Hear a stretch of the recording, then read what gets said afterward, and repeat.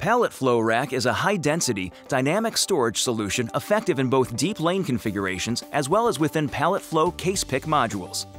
Ideal for high-volume, low SKU applications, Pallet Flow can be used in all warehousing environments and supports first-in, first-out inventory rotation.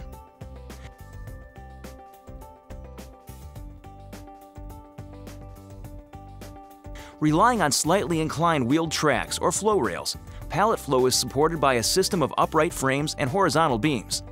Pallets are loaded on one side of the lane and flow gently toward the opposite aisle for picking. System design including lane pitch, components, and configuration is customized to the load weight and type and quality of the pallet in order to ensure consistent controlled flow.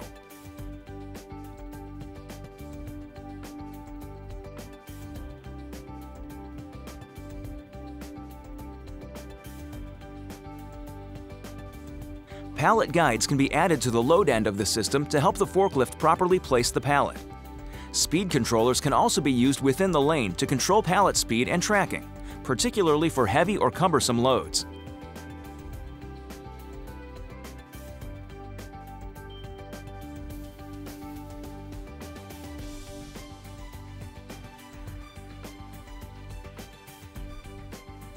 Steel ramp stops at the end of the lanes help ensure that the pallet comes to a smooth stop.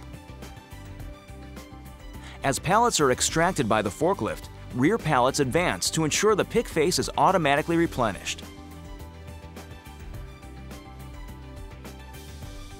The Apex Rack Repair Training Guide has expanded information regarding pallet flow storage systems, components, and applications.